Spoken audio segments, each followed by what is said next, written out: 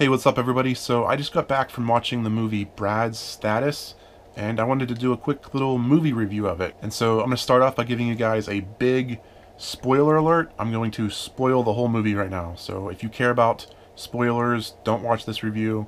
Go watch the movie first if that's something you care about. Okay, so on the first of this month, I got this Movie Pass card. Movie Pass is a service I really love. Um, this is not a paid promotion, but this is just something I really love. You pay ten dollars a month for this card, and you get to you get to watch unlimited movies at the theater.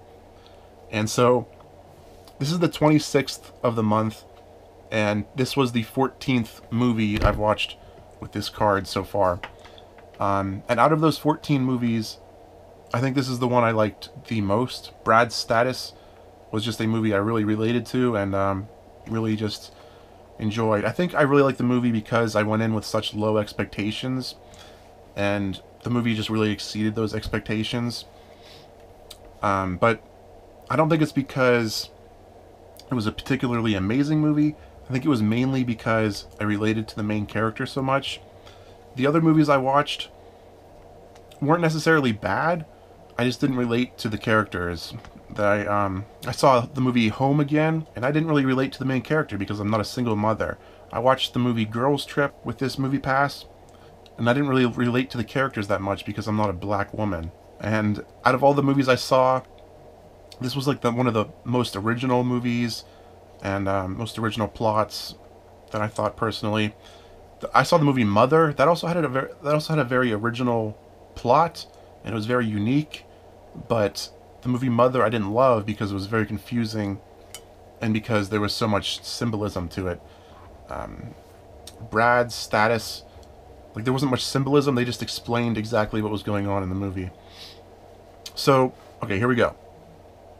Ben Stiller is the star of the movie. He plays Brad. He's like a middle class white guy and he's got a stable job and he's sort of unhappy because he sees uh, his friends from college they've moved on in life. They're like very wealthy now. He sees them on the news and he sees stuff they post to social media and they're having a lot more success than him. Like they're flying around in private jets and Brad is just living an average life. Like he has no problems paying his bills. He's you know, a middle class house. He has a car. He, he goes on little vacations. He's just like an average guy.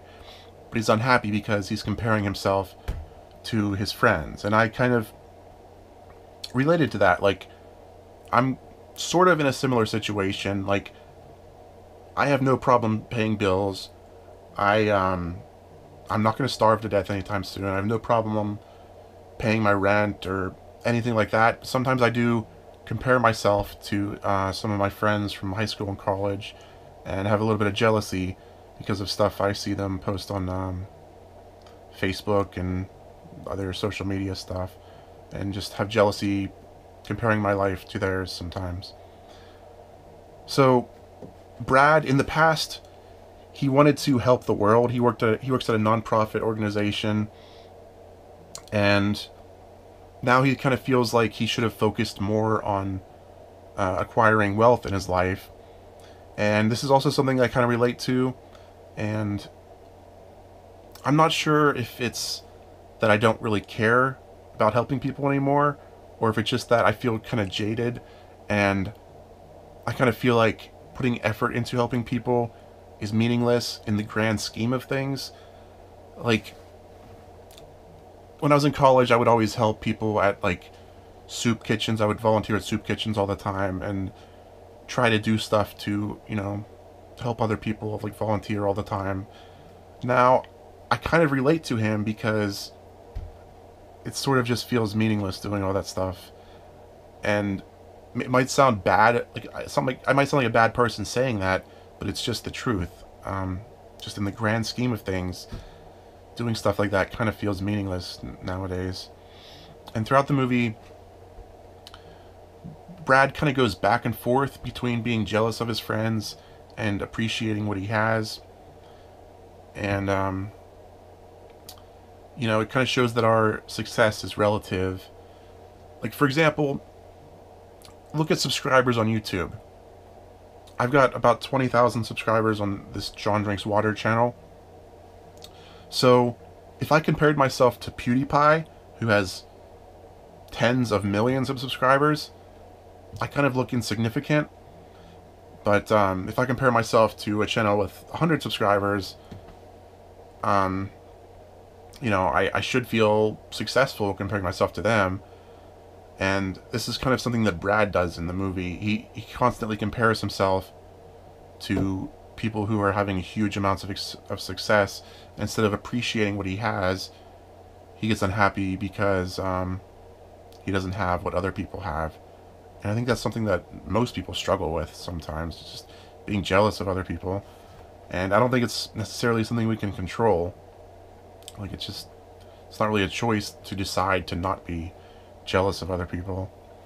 Um, there are four types of conflict when it comes to story. There's man against man, man against nature, man against self, and man against society. In this movie, it's just man against self and man against society which again I relate to because my own struggles in life are most often man against self and man against society. Like, I don't really have any struggles and conflicts in my life where it's me against other men or me against nature. Like, I don't fight tornadoes or hurricanes or, you know, there's no assassin coming after me like, like a lot of movies have stuff like that.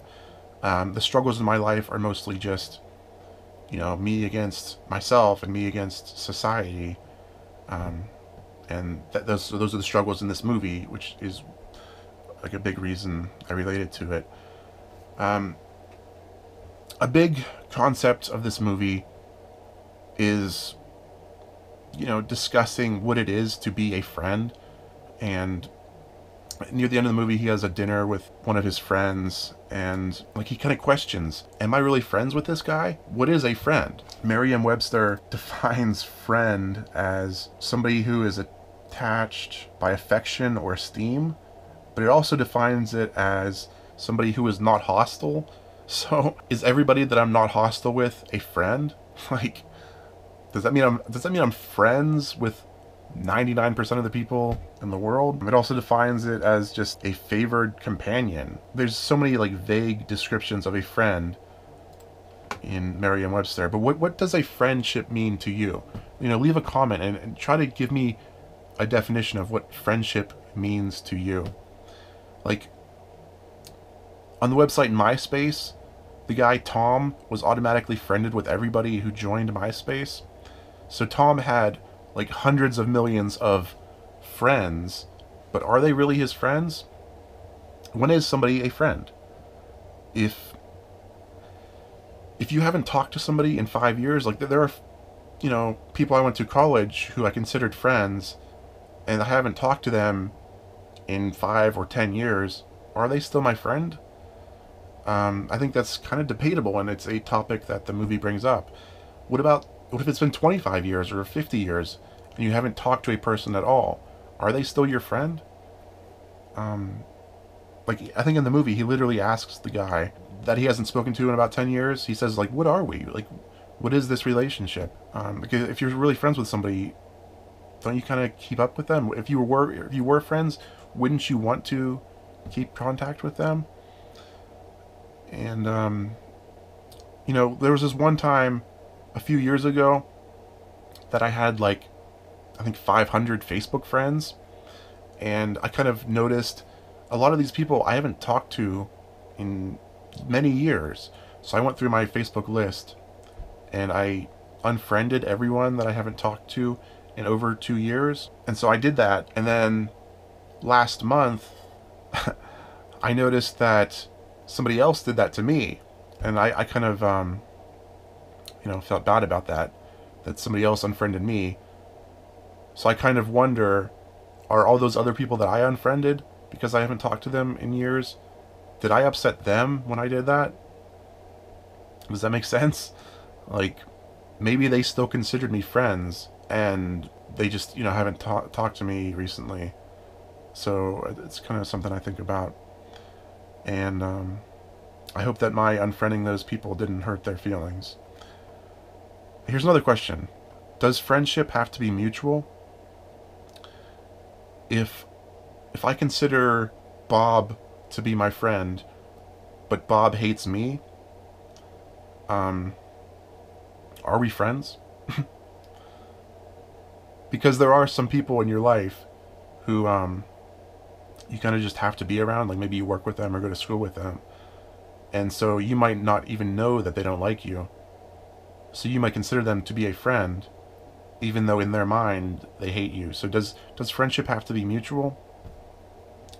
Um, you know, there was this this one friend from high school, Colin, who I, I kind of considered him a friend, but I think that may have just been because we were in the same group of friends.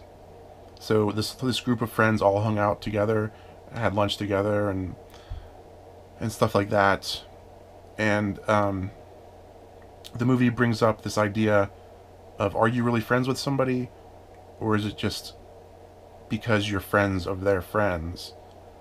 And so this guy Colin, I thought he was my friend, and then I found out on the website Google Plus, he completely blocked me on that website. Um, I found this out in 2012. Like he was a suggested friend, and so I went to his page, and the page says, "Colin has blocked you." So, I'm assuming he just doesn't like me. I mean, why else would he block me? Um, and I graduated high school in 2007. I have not talked to Colin since 2007. We haven't seen each other at parties or really had any contact with each other at all. That was in 2007. And then in 2011, Google Plus was started. so this this guy Colin went out of his way to block me on Google Plus, just basically out of the blue. I guess he didn't like me that much that he thought um, I, I needed blocked, even though I haven't had any contact with him. So I think that's an example of being friends with someone just by association, just because you're in the same group. Um, this kind of feels like I'm rambling, so let's move on. yeah, during a meal, Brad says, like, what is this? Like, are we friends? And eventually he just walks out of the whole the whole meal with this guy. Um, but during the meal, near the end of the movie, they have a conversation about their other friends, and Brad finds out that the success he thought his friends were having wasn't actually true. Um, his one friend, he thought he was super rich and flying around in jets. And then during this meal, he found out that his friend um, was actually close to being bankrupt and having lots of financial problems and health problems. And his other friend, he thought like he was like a playboy, and um, it, it turned out that he was like an alcoholic and drug addict and had all these other problems in his life. But he didn't realize that by only looking at his, um, his social media stuff. And I, I do get jealous a lot, and that's something I related to in this movie. Sometimes of things that I don't even want. like, sometimes I see pictures on Facebook of um, friends getting married, and I don't even want to get married. I really don't. But it, like, it's something I don't even want. But I see friends doing it, and I get jealous of it just because of the status symbol of it, really, which is the title of the movie, Brad's status. Um, and it might not even be something that you want. Like giving a speech at a friend's wedding, being the, being the best man at a wedding, that's not even something a normal person should want to do.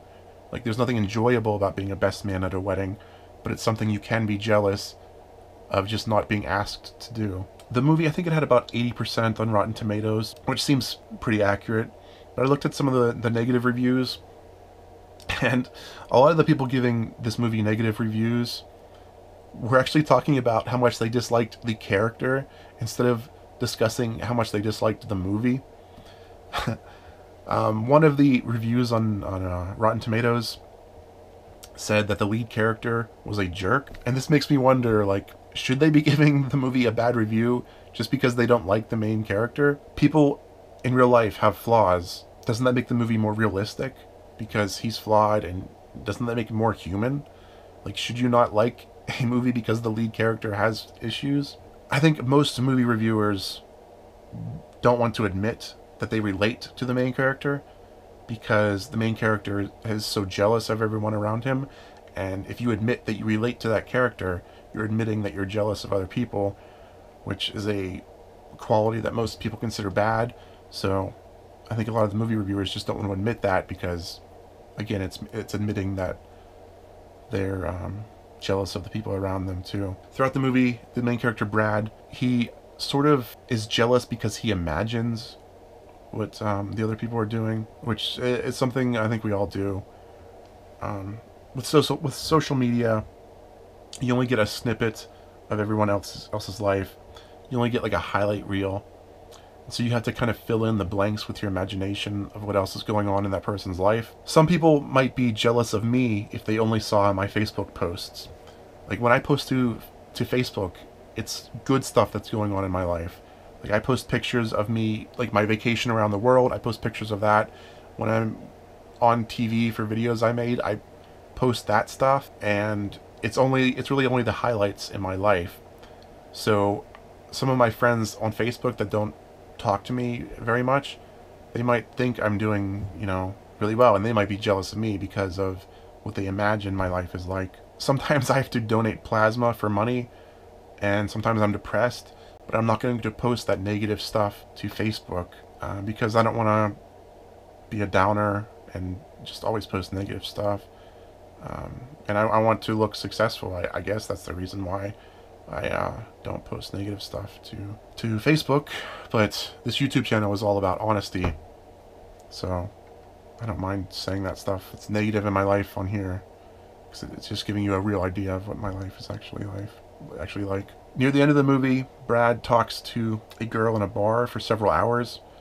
Uh, just as they're drinking, and he tells her the problems in his life, how he's jealous of other people, and him not being successful and um, comparing himself to the people around him. The girl at the bar, her response to all of his issues is to tell him how good he has it and how he should be happy because at least he's not starving to death. Like the girl says, "Oh, there's people in this in these other countries who don't even have food. You should be happy. These aren't not real problems."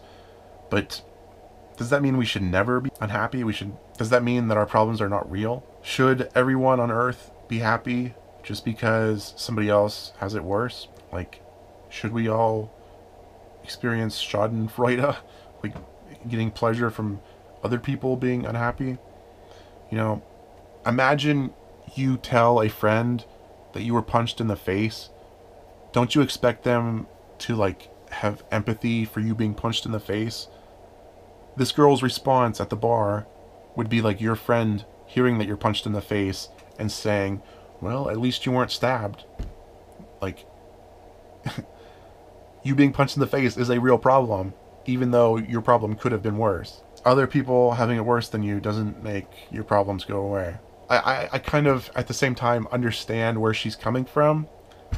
Like, I guess having a positive attitude and, and thinking that stuff works for her. But I also relate to him, like, being annoyed by her response because it doesn't make his problems in his life go away. At the very end of the movie, Brad goes to a concert and hears music, and I guess it, it kind of erases the jealousy in his mind and uh, makes him forget about the, problems in his life. And that's also very true. Um, jealousy of other people is only temporary, and distractions in your life can make jealousy go away. People's moods are not constant throughout their life sometimes you're happy, sometimes you're unhappy. Distractions can make you feel happier. And um, in this movie, it was music that made him forget about his problems. But music is not the only distraction. Just going going to a movie could be a distraction. Eating a good meal could be a distraction and make you just stop thinking about your problems. I mean, really anything in your life. And um, the very end of the movie ended basically just going to black the the movie was about his son trying to get into colleges. I mean, that was like the subplot of the movie, and the end of the movie didn't really resolve any of these problems. It didn't explain if he got into college or not. But I don't I don't think anybody watching the movie cared.